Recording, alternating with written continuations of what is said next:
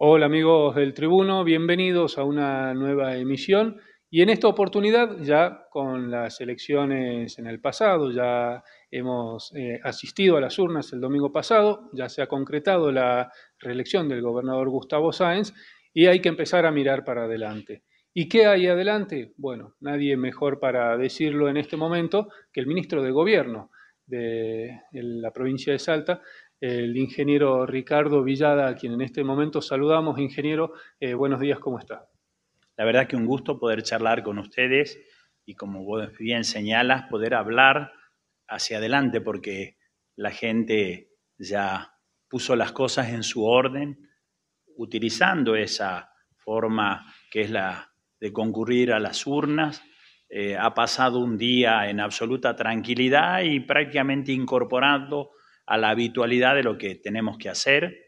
40 años se cumplen del retorno a la democracia y qué bueno que hayamos podido vivir un día sin ningún tipo de incidentes y demás, en donde la gente emitió su opinión. Y ahora, como gobierno, hemos recibido un apoyo por parte de la gente, pero sabemos también que hay una expectativa de que hagamos las cosas mejor y por lo tanto estamos con toda la fuerza para poder justamente eh, seguir haciendo lo que venimos haciendo pero mejorando seguramente muchas cosas de las que hoy por hoy llevamos adelante.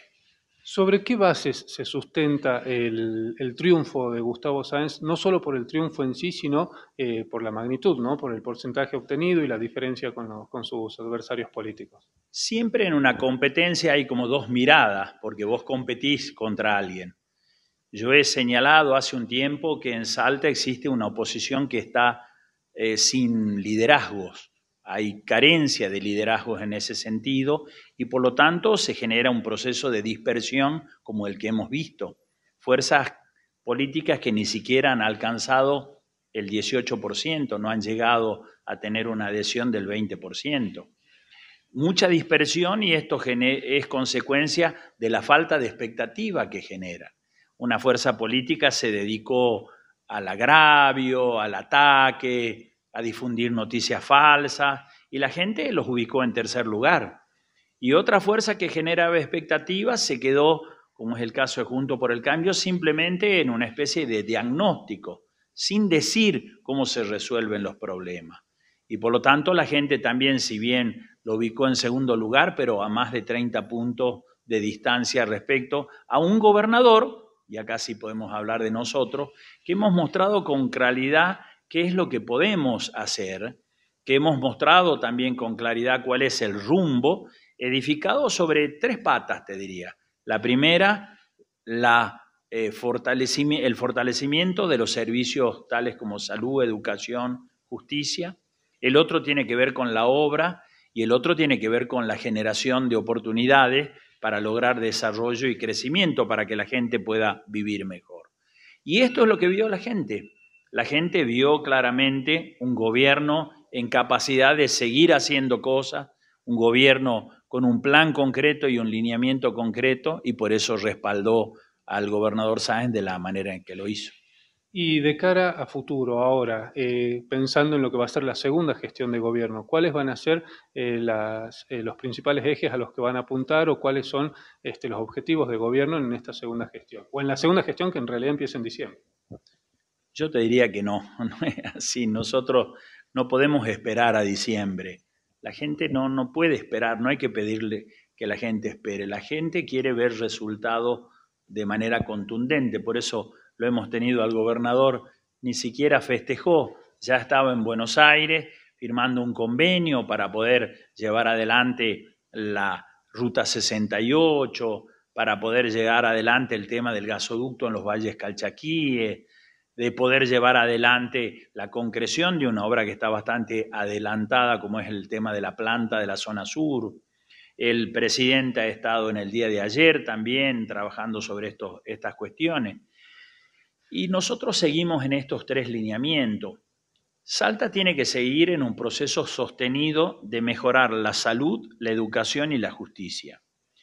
Hay que seguir trabajando. Nosotros hemos hecho mucho por el tema de los hospitales, hemos hecho muchas obras, hemos generado mucho eh, equipamiento, hemos trabajado por el tema de la incorporación de ambulancias, pero sigue pendiente el tema de la falta de profesionales, la falta de médicos, sobre todo en el interior de la provincia. Y esto es algo que nosotros tenemos que solucionar para poder mejorar el sistema de salud. En cuanto a la educación, hemos hecho un esfuerzo importantísimo para mejorar la retribución de los docentes. Hoy los muestra como uno de los mejores pagados en el país. Pero obviamente la situación económica aprieta y por lo tanto tenemos que seguir en este proceso de diálogo para poder seguir garantizando que las clases se lleven adelante. Y en materia de justicia tenemos que eh, avanzar con la transformación, de seguir con la incorporación de la oralidad y la digitalización para que los fallos lleguen en tiempos más razonables y lo que hoy no, que hoy no ocurre. El segundo lineamiento tiene que ver con la obra pública. Si nosotros no seguimos invirtiendo en rutas, en caminos, en aeropuertos, si no seguimos invirtiendo en materia de infraestructura, difícilmente se logre eh, procesos de desarrollo sostenido. Eh, la minería genera eh, un boom hoy por hoy, pero hace falta mejores rutas, hace falta mejores condiciones en cuanto a la energía eléctrica, hace falta mejores condiciones respecto al tema de la conectividad. Lo mismo ocurre en materia de turismo. Si nosotros no tenemos mayor cantidad de infraestructura, un mejor aeropuerto, si no tenemos mejores lugares en el interior, difícilmente el turismo pueda irse desarrollando. Así que la obra va a seguir siendo un eje. Nosotros tenemos una serie de proyectos que tenemos que llevar adelante. El tema de la ruta 68, que es la ruta que recorre todo el acceso a los valles calchaquíes, pero pasa por el Valle de Lerma. Tenemos un proyecto muy importante para hacer allí una autopista. Y el tercer punto tiene que ver con la generación de oportunidades. Tenemos que con creatividad generar mayor oportunidades de trabajo y de estudio y de capacitación.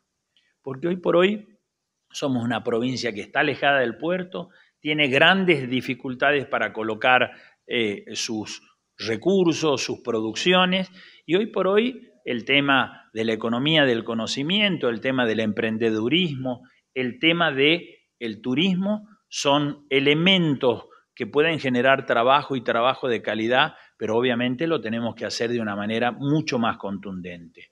Por eso el tema de lo que hemos hecho en términos de potenciar la actividad emprendedora, por eso el tema eh, del Wi-Fi en las plazas, por eso el fortalecimiento de la red federal de fibra óptica que llega que pronto va a llegar a la ciudad capital, por eso la inversión en fibra óptica en barrios populares, por eso el tema eh, como señalaba, del turismo, de fortalecer para que el turismo derrame más y llegue más a los pueblos. Esos son los tres ejes, generación de oportunidades, obra y mejoramiento de los servicios.